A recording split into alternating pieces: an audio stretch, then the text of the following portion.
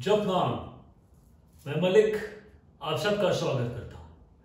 आज हम जानेंगे कि अगर हमारे लग्न में पाँच नंबर लिखा है, या हमारे चंद्र देवता जिस घर में बैठे हैं, वहाँ पाँच नंबर लिखा है तो हमारा स्वभाव कैसा होगा? आइए जानते हैं। अब पाँच नंबर का मतलब हुआ सिंह राशि। अब सिंह राशि के जातक कैसे होते हैं? सिंह राशि के जातक स्वतंत्र विचारधारा वाले। इनका जो ऊपरी शरीर होता है अपर बॉडी पार्ट ये ज़्यादा डेवलप्ड होता है, ज़्यादा स्ट्रांग होता है हृष्ट पृष्ठ होता है। जैसे सिंह होता है, वैसे ही इनका अपर बॉडी पार्ट होता है। दृढ़ संकल्प के होते हैं एक बार जो सोच लिया, वह सोच लिया। सोच ऊँची रखते हैं। किसी कार्य को ठान लें उसको पूरे किए बिना रुकते हैं। यही तो होता है दृढ़ संकल्प। एक लक्ष्य रखते हैं हमेशा। थोड़े आलसी हो जाते हैं। कार्य तो पूरा कर देंगे, लेकिन जब कार्य समाप्त हो जाता है, उसके बाद ही आलसी हो जाते हैं। अब शेर कैसा होता है? शिकार करा, जब खा लिया तो फिर आलसी हो बहुत दोस्त होते हैं लोगों के। लेकिन उन लोगों को अच्छा लगता है अकेला रहना। न्यायशील होते हैं। थोड़े शकी स्वभाव के भी होते हैं। मैरिड लाइफ इनकी सुखद होती है। जिसका खाते हैं, उसके प्रति समर्पित होते हैं।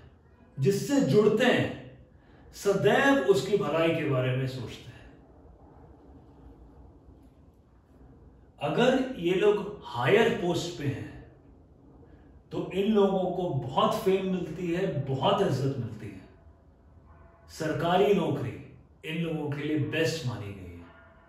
अगर ये लोग सरकारी नौकरी पे उच्च पदस्थ हैं तो इनको बहुत इज़्ज़त मिलेगी, बहुत मान सम्मान मिलेगा। अब देखते हैं, इनकी कमियाँ जानते हैं। एक तो हमने ये जाना कि काम के प्रति ये लोग बात होने के बाद थोड़ा आलसी हो जाते हैं। ये बहुत क्रोधी भी होते हैं। इनको लगता है कि सिर्फ़ इनकी सोच ही सही है, बाकी किसी की सोच सही नहीं है। ये इनकी सबसे बड़ी प्रॉब्लम है। बहुत ज़्यादा डिसिप्लिन होते हैं। जो घर में भी ये लोग, जो डिसिप्लिन एक अनुशासन बना के रखते हैं, वो कई बार लोगों पे हावी होने लग जाता है। सबको अपने अंडर लेके चलना चाहते हैं। दूसरों की कभी नहीं सुनते। इनकी ये जो कमियाँ हैं, ये अच्छाइयों को कभी कभी दबा देती है। आप एक स्वतंत्र विचारधारा के हैं, लेकिन आप हैं भी तो सोसाइटी में, आप लोगों के बीच भी तो रहते हैं।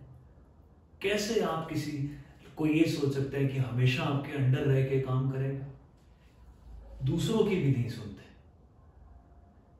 मैं चाहता हूँ कि इतनी अच्छाइयों के बावजूद भी, अगर आप में ये कमियाँ हैं, इन कमियों को दूर करिए, बेहतर इंसान बनिए। सोसाइटी के लिए अच्छा है, आपके परिवार के लिए अच्छा है, आपके खुद के लिए अच्छा है।